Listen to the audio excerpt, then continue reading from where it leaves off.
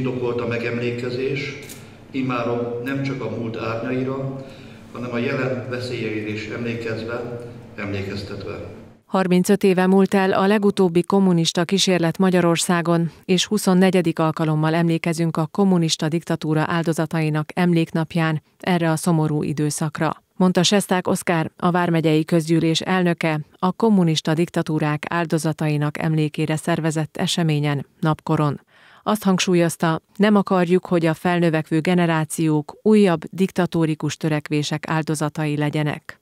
Azon kell dolgoznunk, hogy a következő évtizedekben is mondjuk el fiainknak, unokáinknak ezt az időszakot, ne hagyjuk el eh, sikadni a eh, történelmi emlékezetet, hiszen újra és újra vannak olyan ideológiák, eh, izmusok, amelyek a normális emberi élet kereteit áthágva ideológiai megfontoltságból erőltetnének emberellenes ideológiákat, nézeteket az egyes társadalmakra.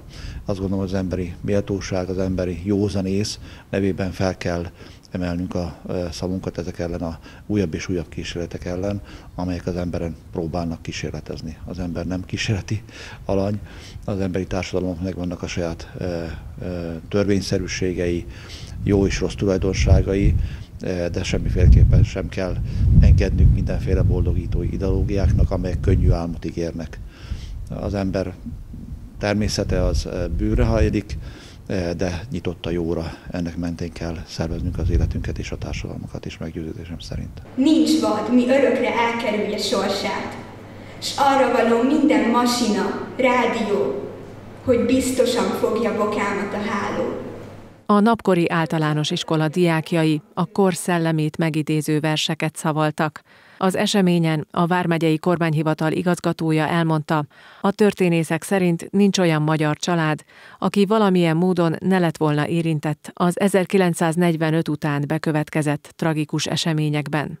Sok százezer embert elhurszoltak vagy bebörtönöztek, több ezer embert kivégeztek, az emberi emlékezetnek, és ezzel összefüggésben a kollektív társadalmi tudatnak is van egy olyan sajátossága, hogy minél tovább kerülünk, vagy távolabb kerülünk egy-egy történelmi eseménytől, vagy egy történelmi időszakról, az emberi emlékezet az idő múlásával egyre kopik, és hát lassan eljuthatunk odáig, hogy néhány generáció után már ezek az események csak a törvény, történelem könyvekben egy-egy tananyagot ö, jelentenek. Éppen ezért a még emlékező ö, áldozatok, áldozatok hozzátartozóinak, és hát magának az utókornak az egy történelmi és erkölcsi felelőssége és kötelezettsége, hogy emlékezzünk ezekre az áldozatokra, és ne hagyjuk a múlt homályába veszni.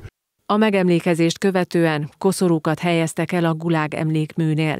Itt található a Veritas Történelmi Emlékbizottság által készített kiállítás is, amelyet 2017 óta évente több százan tekintenek meg. Évente ilyen 800 gyerek az, aki megfordul az erdeiskolában, és ők korosztályuknak megfelelően mindenki valamilyen információt kap erről a tábláról, tehát nem csak, hogy látják, hanem egy kicsit ö, ö, felvillantást is kapnak abból, illetve a nagyobbak már egy kicsit többet is, hogy mi is történt a kommunizmus égisze alatt, hogyan hurcolták el honfitársainkat, és mi az a gulág, és mi a gupvi, tehát ezeket már megtapasztalják, és ennek a fő eszmeisége az, hogy a gonoszságokra nap mint nap emlékeznünk kell azért, hogy a következő nap ne kövessük azt el újra.